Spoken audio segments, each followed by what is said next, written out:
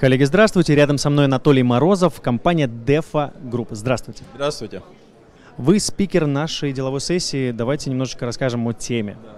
Значит, тема деловой сессии – это рыбный рынок, какой он сегодня, его структура и что он сегодня претерпевает.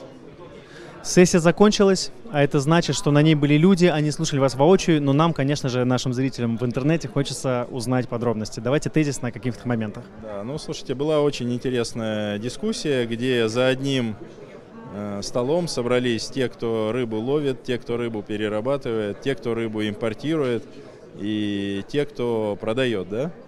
И, собственно говоря, был очень интересный диалог, который, я думаю, полезен всем в это непростое для нас время. Нам хочется узнать, насколько все хорошо будет с рыбой на наших прилавках.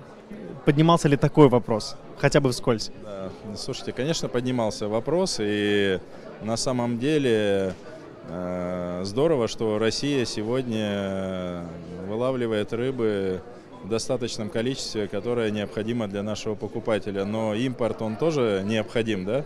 Потому что это многообразие, это ассортимент, и это право выбора нашего покупателя. Поэтому э, собственный вылов и э, импорт находятся немножко сегодня в разной ситуации.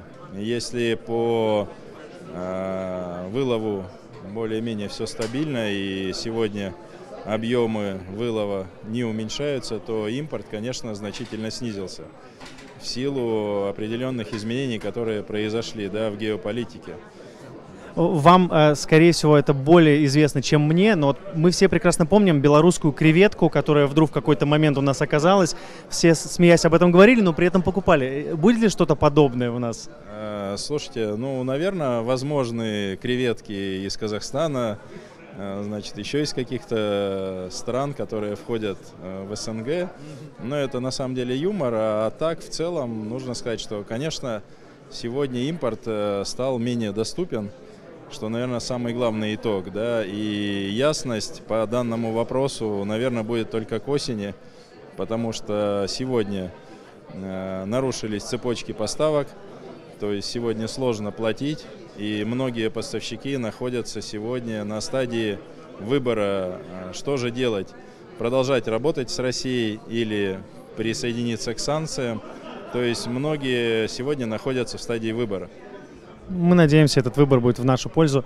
Спасибо вам большое за интересное общение, спасибо за вашу работу и надеюсь, на прилавках всегда будет вкусная, потрясающая рыба. Спасибо огромное. Конечно. Спасибо вам за то, что вы делаете. Спасибо.